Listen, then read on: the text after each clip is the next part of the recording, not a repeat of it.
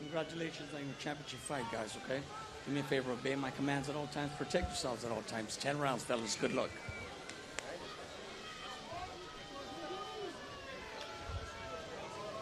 So Marc Castro, 12 and 0, 8 knockouts, 24 years old, had 184 amateur bouts, won 177 of them. In fact, says he hasn't lost a fight in the United States, pro or amateur, since 2012. Sergio, 12 years unbeaten. No, I mean they're they're grooming Matchroom Promotions and Eddie Hearn. They're grooming Marc Castro for for something special, putting him on undercards with great fighters like Chocolatito and Canelo, and now you know this Saturday with Bud Crawford. But he needs to show out a little bit more, just like we are talking about with Giyasov. You know, you have all the talent. You know, go looking for a little bit more if you're Castro on this big stage. Yeah, and second consecutive 10 round fight for Marc Castro. Went the 10 round distance with Abraham Montoya in his last fight. And that's a feather in his cap. Montoya has a win over Luis Lopez, who is a world champion at 126. So that's a solid win for Marc Castro. One of the questions I have about him, though, is this 130 pound weight. It takes a lot for him to get down to 130 pounds. So much so, they're members of his team that believe this might be his last fight at 130 pounds. So is that weight cut going to make a difference in a fight like this? Beginning of, of tonight, Nathan Lugo wore the Deadpool trunks. Now we've got Marc Castro in the Spider Man. You noticed that, yeah. Good body work there from Castro with the left hand, who's currently rated 33rd by the WBC, unranked by the other boxing organizations. But it's a start. His second fight now in 116 days after beating Abraham Montoya over 10 rounds.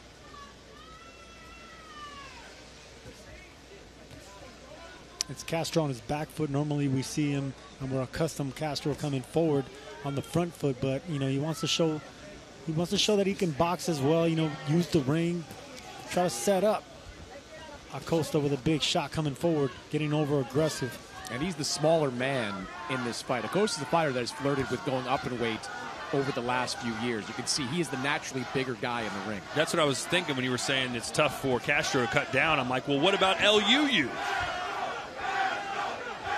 UU, you know, he he has the body frame to go up in weight a little bit more comfortably than Marc Castro. He's a little shorter. He doesn't have the, the wide shoulders.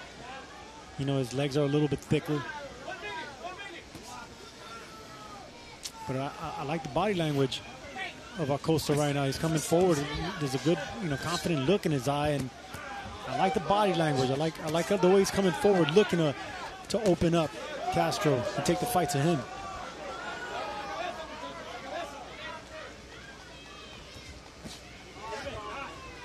Acosta has that type of hairstyle that, that puffy do, where every time he gets touched, his hair just kind of rattles. Yeah, that's that's the reason you know fighters like to keep their hair short, Yeah. especially once you start sweating, and you know the hair gets wet. Any punch is just you know sweat's going to be flying, whether it's a hard shot that landed or not. Yeah. Could affect uh, the judge. A shot that maybe doesn't land that well. Looks like it does because of the hair. There's a right hand from Castro as LUU waves him in. Maybe he shouldn't have done that. Got caught again.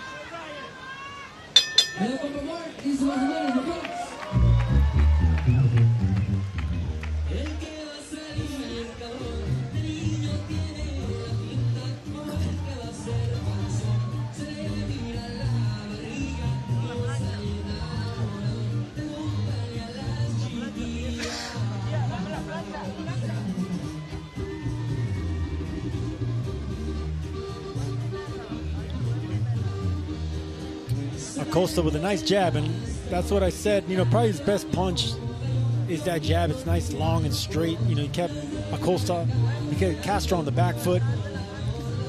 You know, both of them trying to trying to break that range, trying to find their their rhythm, but they haven't really found it yet. You know, it was a good opening round for both fighters who, who actually try to get that jab going. We'll see how the second round plays out.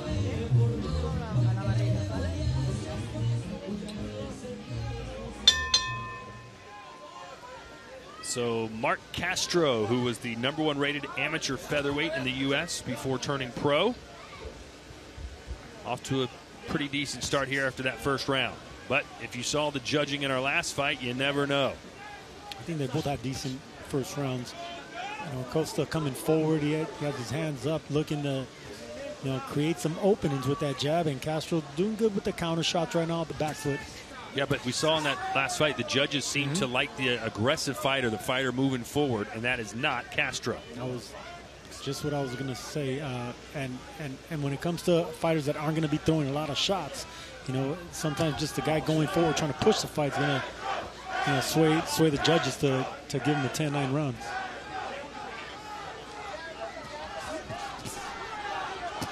Nice body shot there from Castro. Yeah, really like the body work from Marc Castro.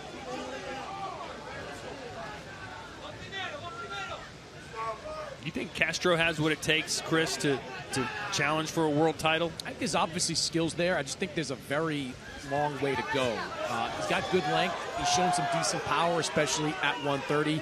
Gets a little bit sloppy in there, Sergio, where does. he, he kind of reaches and throws kind of wild punches. You can get away with that on this level, but when you go up against better fighters, those kind of exchanges are going to get you into some trouble. Now, it, it's the lack of uh, the flawed technique of his. If you notice how he opens up his elbows, you know, he kind of both elbows when he throws the shots. There's always an opening for body shots. You know, when I study Marc Castro, that's the first thing I will go for.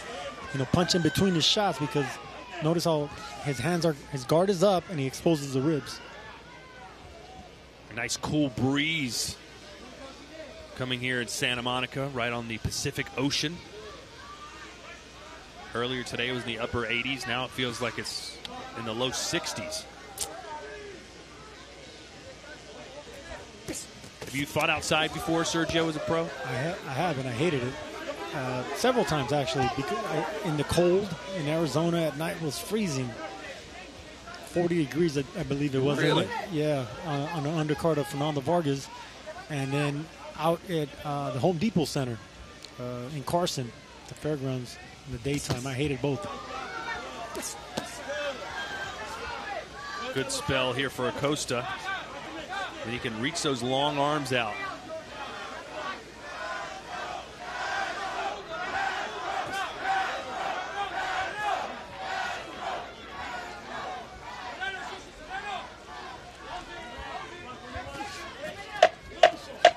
Good right hand from Castro as the final seconds of round two tick down.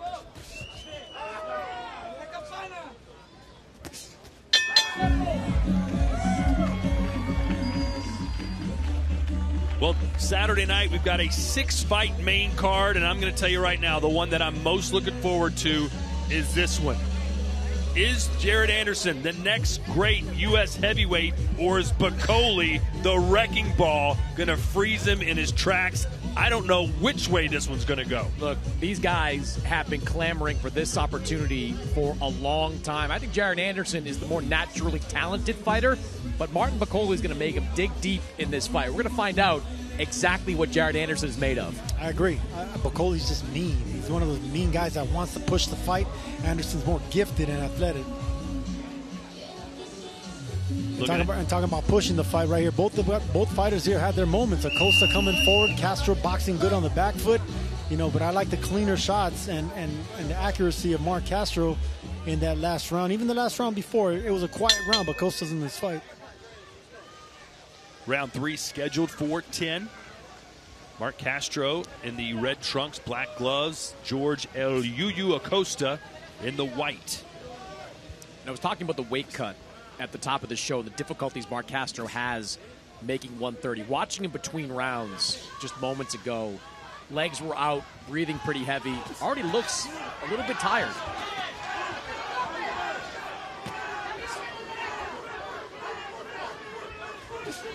Men start out round three much more active than the previous two rounds.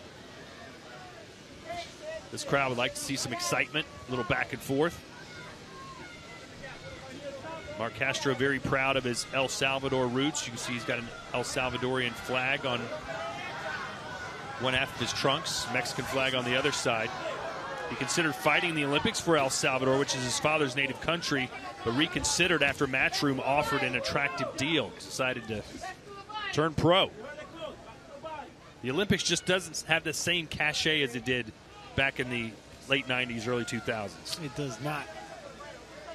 I think part of that, though, not to make this an Olympic discussion, is that there are other pathways for fighters to become successful in the pros. See fighters like Ryan Garcia, Devin Haney, going down to Mexico, racking up some early wins.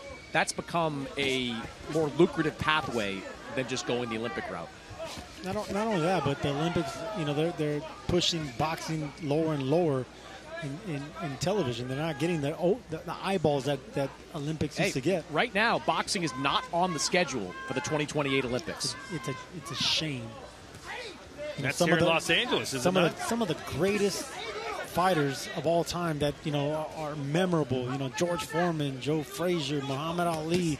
You know, these are all gold medalists, and, and they came out from the Olympics to do great things in the in the professionals. Oscar De La Hoya, Sugar Ray Leonard, you know, so, so many. You know, Katie Taylor. Andre Ward. I mean, that that's that's what sets you up for greatness. And you know, the, the Olympic Committee not not not being a part of it in boxing, it's, it's just a shame. Well, you know, boxing's just had it. Chris can elaborate on this. Boxing's just had a tr- has had trouble getting out of its own way at some points, just staying organized. Well, the uh, great Larry Merchant, who's been around Santa Monica all week long, once said, "You can't save boxing, and you can't kill boxing."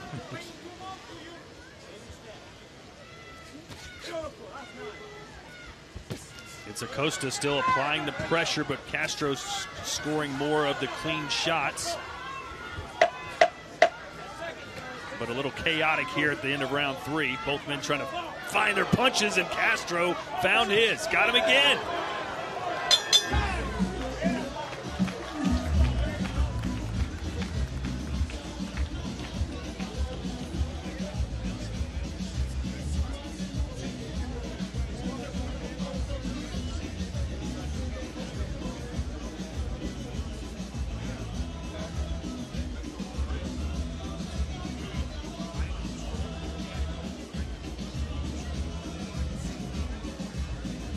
Fight's starting to get a little bit rough. You know, a little bit sloppy. You know, both of them not landing clean shots. There you go. You know, with the rabbit punching, you know, trying to punch you behind the head, just trying to land something. There's a nice clean shot there by Castro, but as soon as he landed, he stepped back and, and didn't really look for a combination. You know, because Acosta is one of those fighters that's always going to be looking for for a punch in between, and it's hard to get combinations flowing whenever you're dealing with a with a veteran that's punching in between the shots like that. Round four. Here from Santa Monica, California. Castro, who began boxing at age four, said he always knew what he wanted to do. And here he is at the age of 24, 20 years later, an undefeated young prospect working his way up the rankings.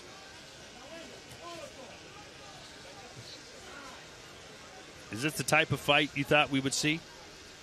No, I, I, I expected a little bit, a little bit more from Marc, Marc Castro. I mean, it's still early. It's a fourth fourth round. You know, he, he's dealing. he- He's in there with a with a fighter that's that's been around the block. Acosta. He, he's one of these cagey fighters. That's what I like to call them. You know, they they they're good enough to, to compete with, with fighters like Castro, but they're Oh, not nice good enough left. to they're not good enough to win uh, when when they step up. He's certainly making it competitive so far.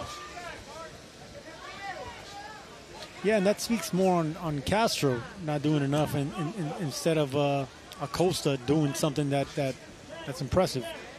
Acosta's not doing nothing, you know, nothing great. You know, he's just coming forward looking for the jab. Yeah, and I was talking to Manny Robles, the trainer for Acosta. He said he needs him to go to the body more. A familiar f- refrain we've heard for much of this card. Thinks he's getting in the positions he needs to be in, but when he gets there, he's got to let his hands go, specifically downstairs. I think that was a perfect example we just saw.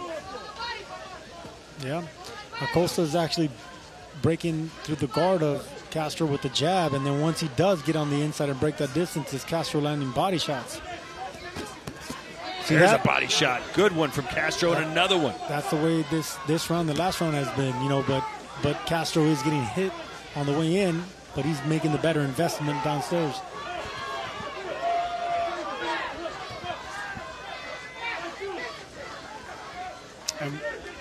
And what I would do with some someone like that is catch and counter. You know, if I was Cast, Castro, I would catch and counter Acosta. So you actually want to absorb the shot.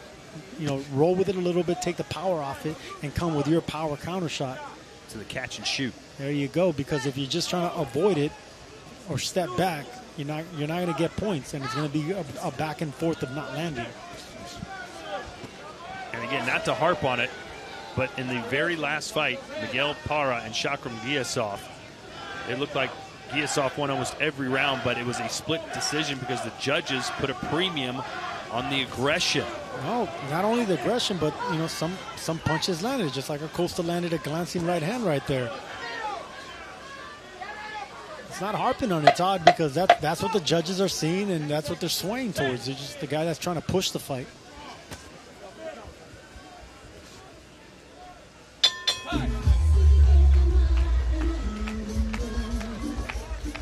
Another fantastic heavyweight matchup. The returning Andy Ruiz, former heavyweight champion of the world, taking on Big Baby Miller. And of course, Chris, we all remember the reason Ruiz had that chance to win the world title is because Miller couldn't fight after failing a drug test. Now, Andy Ruiz took advantage of his opportunity back in 2019, became the unified heavyweight champion. And Jarrell Miller has admitted he's motivated by that experience. Andy Ruiz got something that Jarrell Miller badly wanted. He wants to start to get back some of what he lost against Andy Ruiz.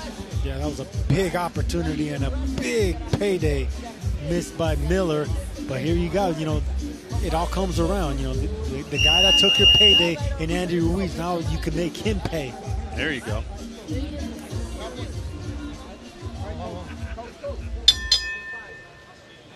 So is Mark Castro going to end up going the full 10 rounds in back-to-back fights? Well, I predicted the last one that was going to go 10. I can tell you this one probably go 10 too.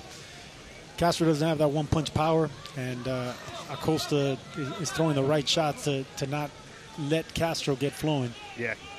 El Yuyu just three knockouts in his 17 wins, so odds are he's not going to be able to put Castro down.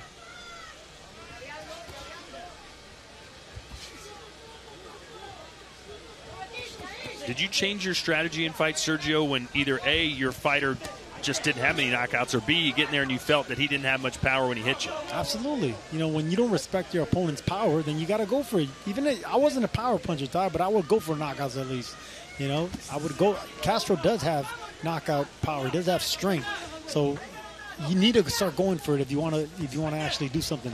And you see moments ago that center ring apron is continuing to be a problem for the fighters in the ring. And Costa slipped. He was trying to plant that back foot. We saw Giyasov have problems with it during his fight. So it's certainly perilous territory there in the middle of the ring. Perilous. Oh, looked like a low blow there from Castro. The referee doesn't say anything about it.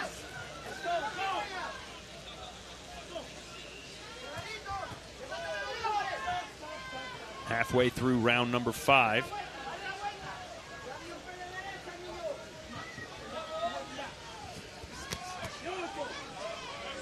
White body shots there by Castro, and, and that's again. I go back to him opening up his elbows. It- It's kind of a, a, a weird technique that he has. You know, it's kind of a slapping slapping shots when he goes back to the body because he he opens up his his elbows and, and, and the technique's wrong for power. Marc Castro managed by Keith Connolly. He, he's having a pretty good week, huh, Chris? Just uh, a few days ago, Edgar Berlanga, one of his fighters, got the cash cow that is Canelo. Absolutely. Why don't we touch on that, Chris Mannix? Because we're having lunch with Keith Connolly, and I was telling him what a wonderful job he's been doing, getting the big paydays for his opponents, and of course, Chris Look, Mannix. had a- Chris Castro opening up and landing some power punches, and this is what we wanted to see. As El Yuyu's willing to sit there and take it. Good exchange there by Castro. Wish he'd kept him in the corner there a little bit more. The uppercut's open now for Castro. Ac- Aco- Acosta's formation, his technique is going out the window now. See, there's a big opening down the middle. If Castro could just act, muster up to just throw one big shot down the middle, it's an uppercut. It'll be a tricky punch to throw, but it's wide open for Marc Castro. Castro landing more power punches in this round. I'd love to see if they tell him in his corner to start throwing uppercuts.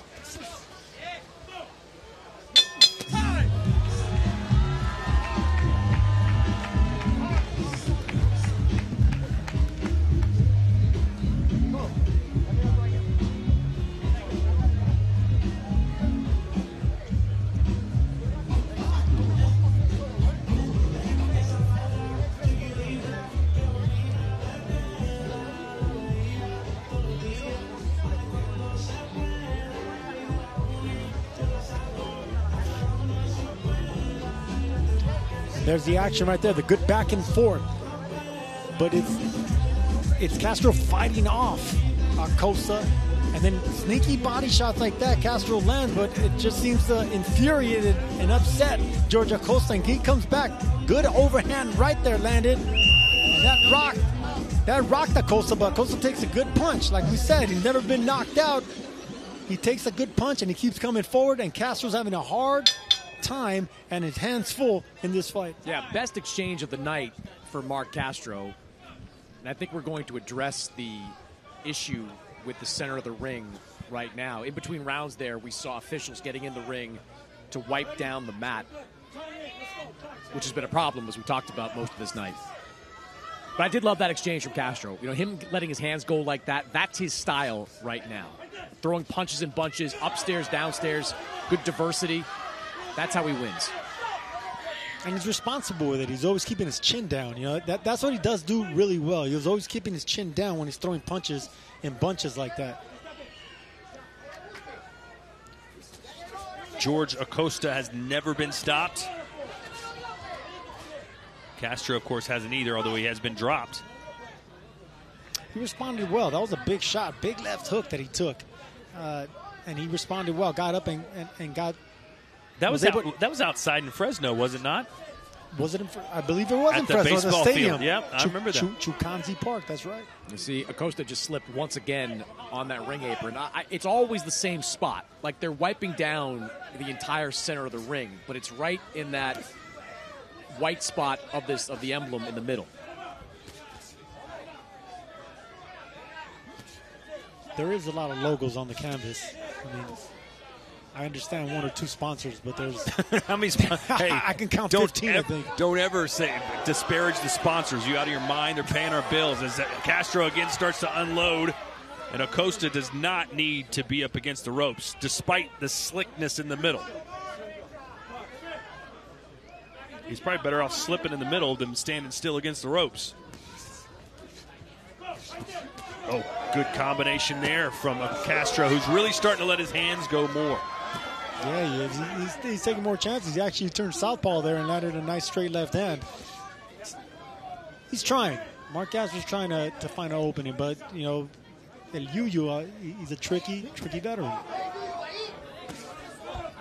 And there's another slip.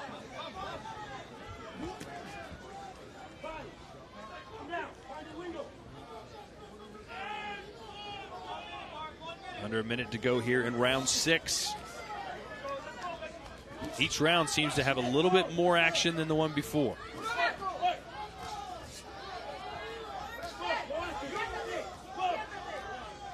Well, for Marc Castro, with the trunks of Spider-Man, if he wants to dress like an action hero, he better pick up the action himself.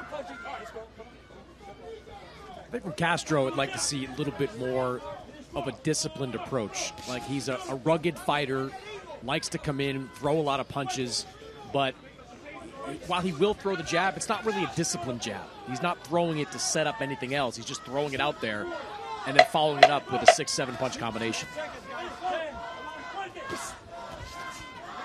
Good uppercut. See, that, that, that's a punch I see opening for Marc Castro. Every time he throws it, he lands cleanly. Try to. Coming up Saturday night, Mexico versus Mexico. Pitbull Cruz versus Valenzuela. That's the co-main event of the evening. I wonder how much support Valenzuela is going to get from the Mexican fans, Sergio. Will they they split it 50-50 down no, the middle? No way. No way? Pitbull Cruz became a big attraction with the Mexican fans after that Tank fight. I mean, he, he, he Tank was knocking out everyone, It still is. And Pitbull Cruz took it to Tank Davis in that fight. Mexicans respect a fighter like Pitbull. What a setting, what a scene here tonight, live from the Santa Monica Pier, the world famous Santa Monica Pier. Do you have any memories growing up in this area of the Santa Monica Pier, Sergio? No way. Did you get caught shoplifting down here or anything? I, no, because it's Santa Monica. I lived in East LA, so no, I wasn't in this neck of the woods. All right, we're in round seven, scheduled for 10.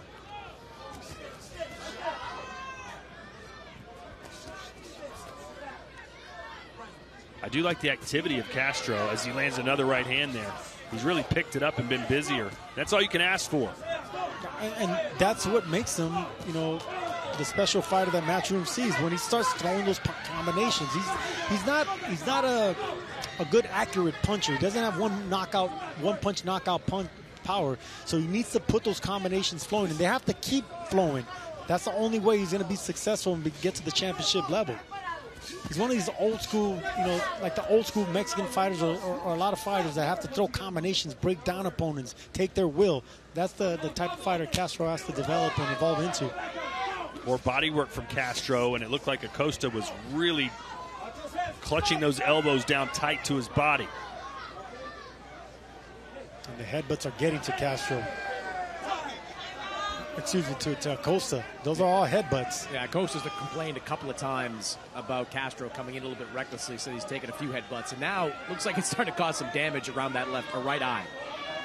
And, and, I was talking about earlier, Marc Castro has a, he does a great job keeping his chin down, so he gets away with those headbutts. They're not they're not on purpose, by the way. They're totally accidental. He's, he's pushing the action, going forward. They're going to stop it. That's it. You know, the doctor got up on the ring apron, had a short conversation with Acosta, and yes, they're going to wave this fight off. It will go to the scorecards. I've seen much worse in, in, regards to eye injuries, and they allow the fighter to, to continue. I'll have to hear what the conversation was like with Acosta. If the doctor says to him, Can you see? and he responds negatively, perhaps there's not much you can do in that situation. But you're right, Todd. As far as uh, eye injuries go, we've seen a lot worse be allowed to continue. Well, there wasn't a lot of hesitation yet. If if the doctor says, "Can you see?" and he says, "No," you got to stop it. But I didn't really see Luu pleading his case. Well, you didn't see, and he can't see right now either from that right eye, and it was only going to get worse for him. And well, ladies and gentlemen, the coup de grace Saturday night. Terence Bud Crawford, Israil Madrimov from Uzbekistan, as Madrimov defends his WBA title. Crawford looking to move up to win yet another title in another weight class. Sergio, do you think that fight goes the distance? Yes, I, I think it does because whenever you're d- dealing with a fighter that's moving up in weight from lightweight, you know, fighting a, a strong, natural junior middleweight, I see it going to the distance. So the referee talking to Thomas Treiber. And if the injury was not caused by a punch, they will go to the scorecards. If it was caused by an accident, excuse me, if it was caused by a punch, they would stop the fight and it would be a TKO win for Castro. You don't expect any drama on the scorecards here, do you? Well, we didn't expect drama with Miguel Parra in the last in the last fight, and we got it. So I don't know what to expect. I think Castro was in control. He wanted more rounds, but it was Acosta, you know, pushing the fight the majority of those rounds. Let's look at that headbutt again. Yeah. Yeah, but see, no one's to blame right there. Both of them actually yeah. collided. And it's because of Marc Castro's, you know, the fact that he, he has he's more adept at keeping the chin down, tucked away, that, that his head's going to be doing more damage than Acosta who keeps his chin higher.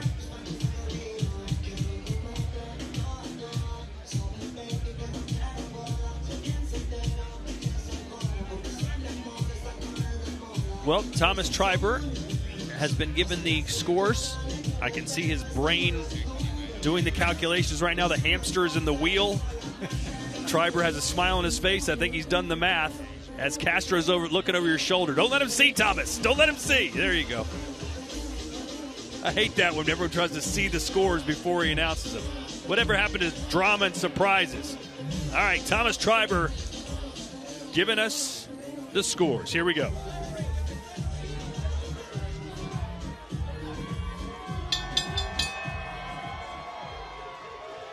Ladies and gentlemen, this bout comes to an end at 1 minute 10 seconds of round number 7 due to a eye injury sustained by the red corner from a accidental headbutt.